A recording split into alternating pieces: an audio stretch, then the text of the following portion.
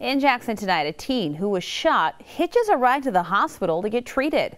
Jackson police say a woman flagged them down around 2 in the afternoon Thursday with the injured teen she picked up on Woodbridge Street. The teen told police he was walking down the street when a red car pulled up next to him and fired several shots. His injuries are not life threatening. Police are still investigating.